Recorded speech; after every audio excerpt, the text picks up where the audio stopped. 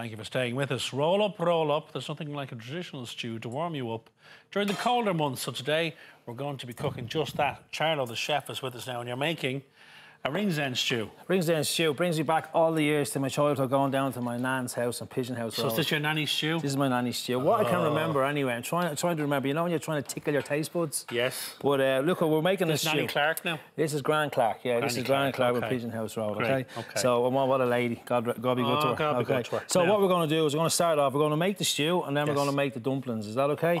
what we're using for the stew, we're just going to smoke it out here. What we're using for the stew is we're using some nice lamb shoulder. Beautiful. Now, shoulder or neck is the best meat to use in a stew. And why, Okay. why is that? Because I'll tell you why. Our shoulders are nice and tough, so Simon, just tense up there. So you got a fine pair of shoulders on you there, but very shoulders do all the work. They do. So they're nice and tense and But they're tough. to cook them low and slow, don't Low you? and slow, low Right. and slow. So That's that, our that's favourite, it. isn't it? So we preheated the oven, okay? Okay. We're going to put them in around 150 degrees, and you're going to look at maybe two hours, two and a half hours, Lovely. okay? Depending on how much, depending on how much you want to bring it on. Okay. But after two hours, you've got a perfect stew. So you'd ask your butcher to dice up the piece of shoulder for you? Dice up the piece of shoulder and ask him then to trim it as best he can. Okay. Okay. The shoulder, as you see there, is nice and marble and there's a nice bit of fat in it as well. Right. So we're going to pop it in here. Okay. Now what we're doing here, the technique called seal. We're going to seal. We're going to seal our, our, our lamb first. Okay. Okay. Now, just a few, just a few little. Um, just a few little house house rules, okay? Okay. You know, you're asking your butcher to trim it. You normally get your meat in a bag, okay? So decant that in safely when you bring it home into a Tupperware container or, uh, you know, with a no, sealed lid. okay, yeah. Always store your raw meat in the bottom of your fridge, okay? Okay.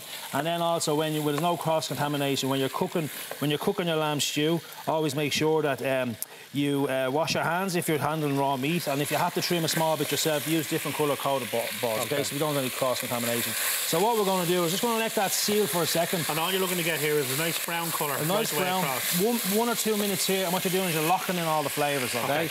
We're going to just jump ahead and talk about the dumplings, okay? Beautiful. Dumplings are like um, a great accompaniment to any stew, okay? Yeah. So what we need for dumplings is we need some flour, okay? So we're dropping in some flour, we have a pinch of salt, we've got some suet, okay? This is a beef suet, you can also get vegetable suet. Get that from your butchers. Bet that in your butcher's or your local supermarket. We have some baking powder. I'm going to chop in some uh, chopped rosemary. Now, I'm using rosemary and mint for the dish today. You can crack that out for me, Simon. I'm using ro- rosemary and mint for the dish today because rosemary and mint with lamb is, uh, you know, it, it, they complement each other so well. So what I'm doing is Just a drop of water, chef. just three tablespoons of water and also a half a tablespoon. Now, this is optional, but I just find with the dumplings, this gives it a really amazing flavour. Is a, a half a teaspoon of concentrated mint sauce. Mint sauce. Yeah, so mint sauce and lamb go, go really well together. So what we're going to do is I How just, much of this, just a half a teaspoon. You can mix that all up, Simon, for me, okay? Certainly, yeah. A little bit of butter as well, chef. yeah. No, no, leave the butter out. Leave the butter out. That's for Okay. later. Okay.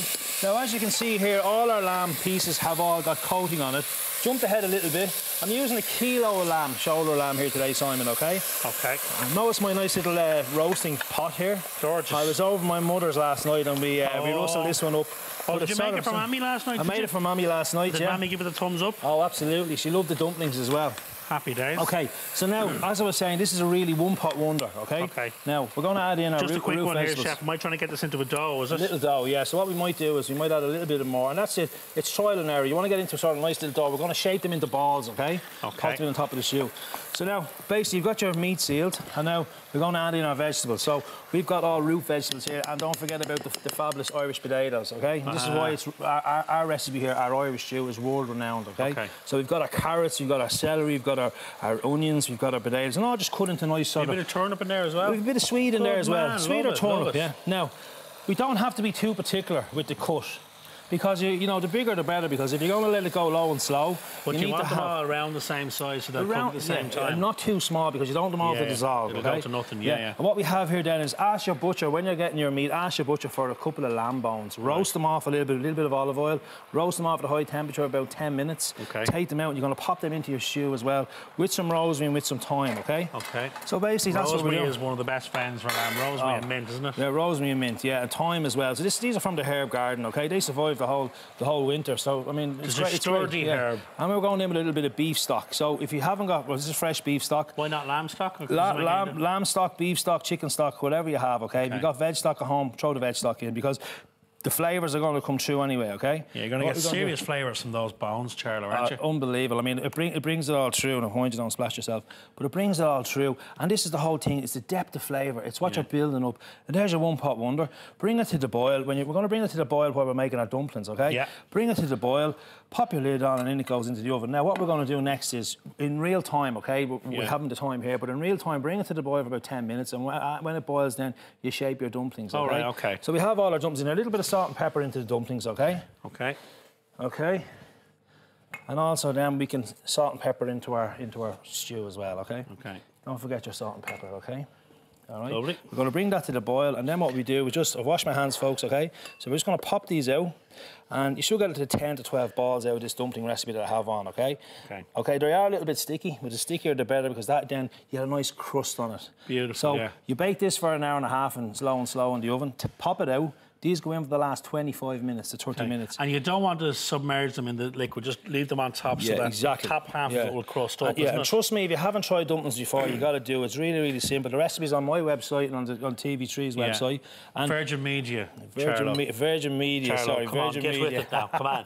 Virgin Media, yeah, That's exactly. a fine. You're going to fine for that. That's- that's a case of beer you have to bring in next week, Charlo. No problem. Uh, my sister makes a beef stew every, all the time, and she always makes dumplings with it. Oh, does she? It's a great alternative Yeah, to yeah. like you can leave the spuds out of that. and look, at if you're, if, you're, if, if you're doing a beef stew, thyme, a thyme dumpling is brilliant. Gorgeous. If you're doing um, like a like a, um, uh, a chicken, something nice chicken stew, you know, sage and onion is great. Gorgeous. You know, so you can play around with it, you know.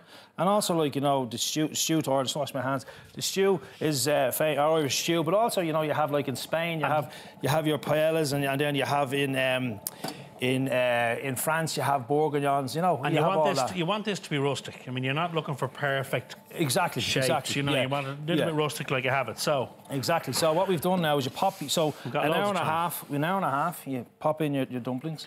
Okay, Okay. And you So you want to give them no more than 25 minutes, half an hour. Exactly. Now your liquor, uh, as you know, as I've, I've sort of filled up the top, your liquor will will, reduce yeah, down. yeah. Okay? And um, then you get this nice crust on. So pop it into your oven again, and you leave it at the same temperature, 150 for 25 minutes. Okay. Okay.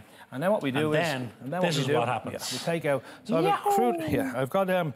This has been checked and double checked this morning, but the flavours and the aroma is amazing. Okay? Oh, yeah. Amazing. Now we'll just pop this stew in here. Well, in fairness, since 8 o'clock this morning since you came in, the, the studio's been filled with this beautiful smell of this stew cooking. What you have, Beautiful. okay? With all stew. Are you ready for this now? What the big reveal. What we have with all Did stew the we- dumplings sink or did they swim?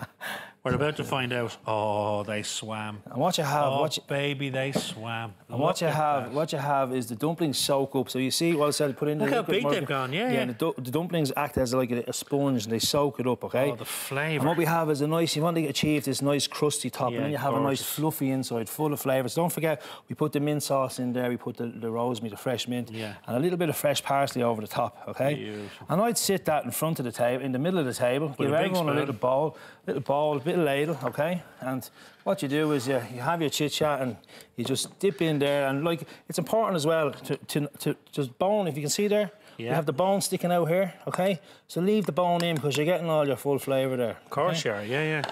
And then as well, if you look at the vegetables, the vegetables haven't dissolved. They were a nice big chunky cut, so they haven't dissolved, and you have an amazing liquor as well. Okay. Look now, at what, this what, what we serve, what's traditionally served with our lamb stew is our soda bread. So I have a little bit of soda bread here that I have some Irish butter on it, and it really is Ireland on a plate. Ah, man, look at It's this. Ireland on the plate. There's people sitting at bars in Australia and America sipping pints, one wishing they could be at home having their mammy's stew. Absolutely. Charlo, fantastic. Recipe details are up much. on our website.